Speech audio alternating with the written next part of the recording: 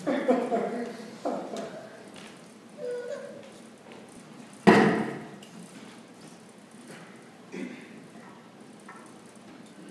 would you say a word of prayer as we receive your Lord, we just thank you for how you provide for us, Lord. We just give back to you just a little bit of everything you've given to us. I ask you to bless the people that give and don't give, Lord, financially, spiritually, and physically. We just ask you to pour out your abundance from your storehouse to everyone here today. Lord, multiply this.